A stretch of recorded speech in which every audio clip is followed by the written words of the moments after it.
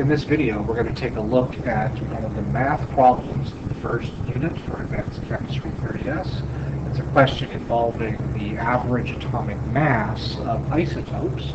We're given the question the masses of two isotopes of copper and the average atomic mass of copper, and we're asked to find the abundance for each isotope. So when you read the question, we have copper 63 with a mass that is specified as 62.9296 AMUs, and copper 65 with a mass specified as 64.9278 AMUs.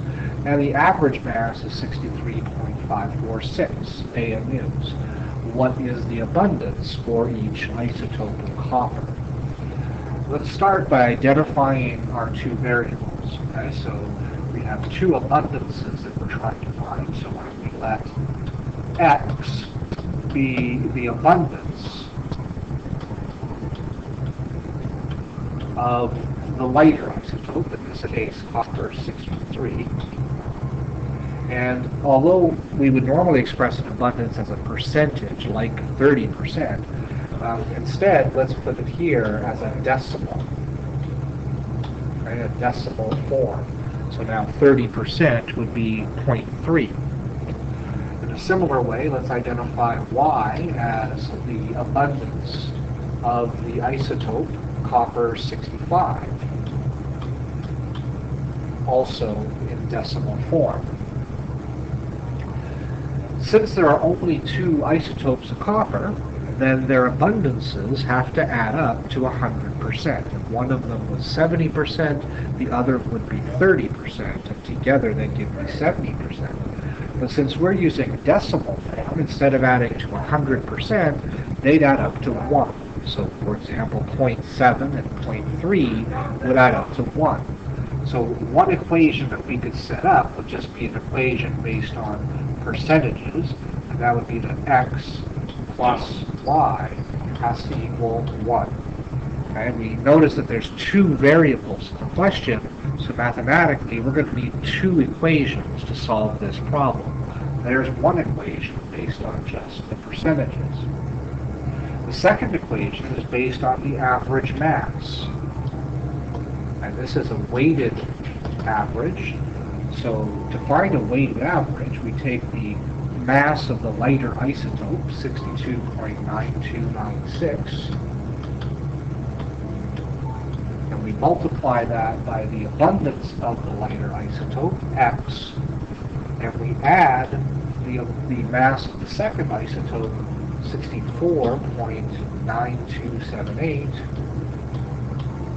multiplied by its abundance, which is Y, and since that's all of the isotopes we have together, that has to give me the average mass, the weighted average, which was given in the question, 63.546 AMUs.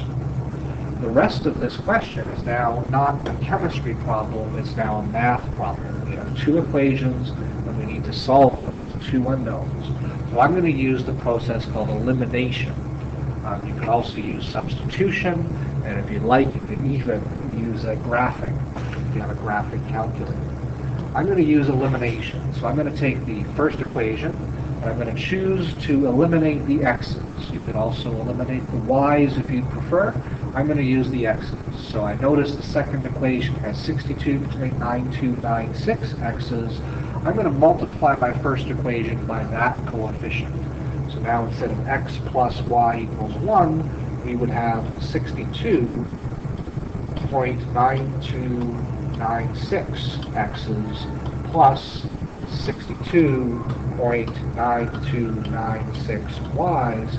That would equal 62.9296. So I multiplied every term in that first equation by 62.9296. It's called elimination because we know if we now subtract these two equations, the first term in each will be eliminated since they're equal.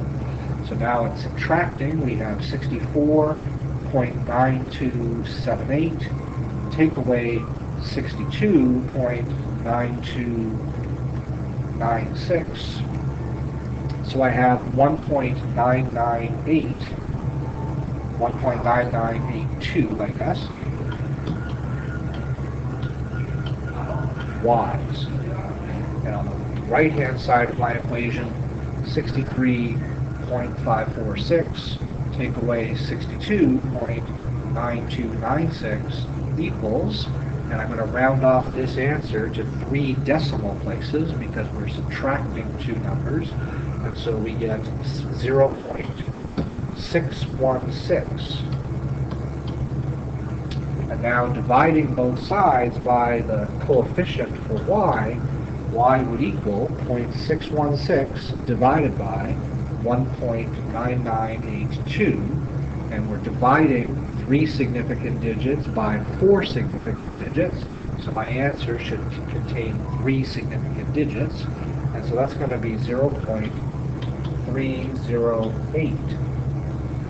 Okay, since x plus y was equal to 1, we can now say that x is equal to 1 minus y, which will be 0.692.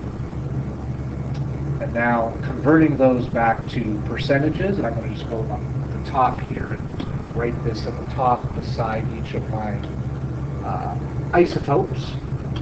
Since x, since y was 0.308, the abundance for copper 65, multiplying that by 100 would be 30.8% since the isotope abundance for X was 0.692, multiplying that by 100 gives me 69.2% abundance for copper 63. So there we have it. That's one of the harder questions mathematically in this first unit based on average atomic masses. This one was more difficult than usual because we're trying to find the um, isotope abundances. That meant there were two unknowns we had to use two equations and two unknowns to solve it. Hope that helps with your studying, and good luck.